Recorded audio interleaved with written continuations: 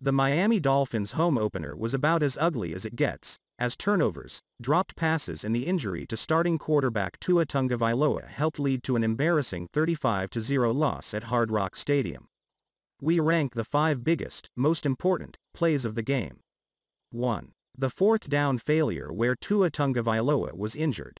This one ranks at the top for a couple of reasons, and not just because Tagovailoa was knocked out of the game with his rib injury. There was absolutely nothing wrong with the decision to go for the first down on 4th and 2 from the Buffalo 47 given the field position and the fact the Dolphins figured they'd need a lot of points to win this game. But what happened on the play was a microcosm of the game when the Dolphins' offense was on the field, with the line incapable of protecting and the quarterback getting pounded. 2. Devin Singletary's 46-yard touchdown run. It was bad enough that the offense gave up two sacks on the opening drive of the game, but then to give up a long touchdown run right up the gut on the Bills' second offensive play just made it worse. It was like a punch in the gut, to use the same word again. 3. Jakeem Grant's fumble. As poorly as the game began, the Dolphins had a chance to get right back in it when they had a red zone opportunity early in the second quarter and faced a third and six from the 11 after Albert Wilson dropped a second down pass.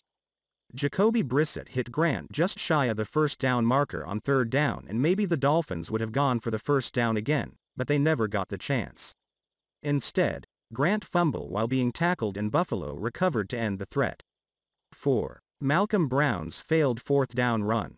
The Dolphins had yet another chance to cut into their 14-0 deficit after Xavier Howard made his spectacular interception, but they faced a fourth and two from the 16 after a second down sack put them behind the chains.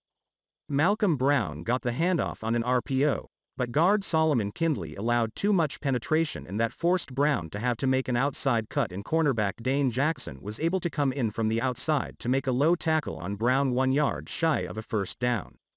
5. Jacoby Brissett's interception. This one came late in the first quarter, again with the Dolphins trailing 14-0 when Brissett thought he'd have an easy completion to tight end Mike Gesicki after a double move. The only problem was that deep cornerback Levi Wallace sniffed out the play and let go of Jaylen Waddle right as the ball was thrown. The fact that Brissett put air under the ball gave Wallace plenty of time to get over there and make the easy pick. What made the play more painful is it came on a first and 10 from the Buffalo 30-yard line.